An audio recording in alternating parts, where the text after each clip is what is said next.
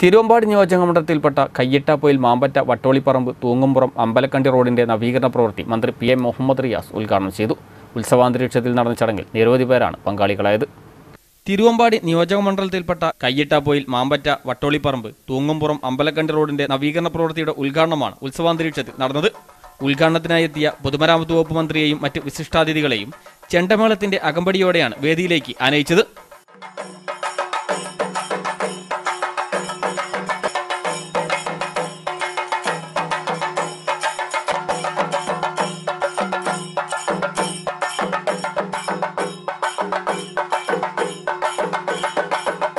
കയ്യിട്ടാപ്പൊയിൽ മുതൽ മാമ്പറ്റ വരെയുള്ള അറുന്നൂറ് മീറ്ററും വട്ടോളിപ്പറമ്പ് മുതൽ അമ്പലക്കണ്ടി വരെയുള്ള രണ്ട് കിലോമീറ്റർ എഴുന്നൂറ് മീറ്റർ ദൂരവുമാണ് ആറര കോടി രൂപ വകയിരുത്തി നവീകരിക്കുന്നത്.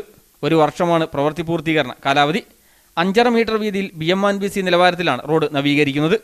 ആവശ്യമായ സ്ഥലങ്ങളിൽ ഡ്രെയിനേജുകൾ കൽവർട്ടുകൾ എന്നിവ പുനർനിർമ്മിക്കുകയും റോഡ് സുരക്ഷാ ബോർഡുകൾ മാർക്കിംഗ് എന്നിവ പദ്ധതിയുടെ ഭാഗമായി നടപ്പാക്കുകയും ചെയ്യുന്നുണ്ട്.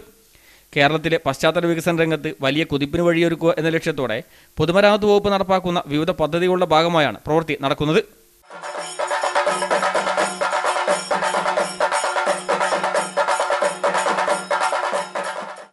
സി ടി വി പ്രാദേശിക വാർത്ത മുക്കം.